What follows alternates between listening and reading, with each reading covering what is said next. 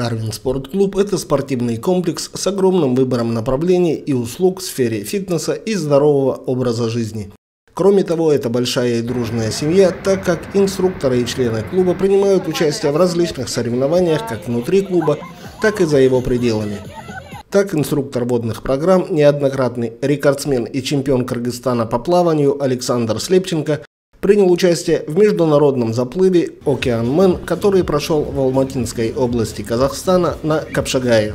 Эти соревнования являются испанской франшизой и мировые туры проводятся во всех уголках мира. В массовом заплыве приняли участие около 1200 человек из более чем 40 стран мира. Тренер Карвин-клуба Александр Слепченко выступал в возрастной категории 20-29 лет на дистанции 10 километров.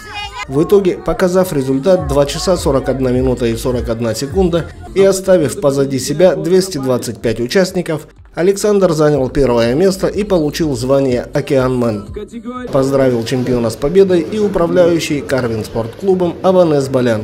Он пожелал Александру дальнейших успехов как на соревнованиях, так и в деле воспитания подрастающего поколения.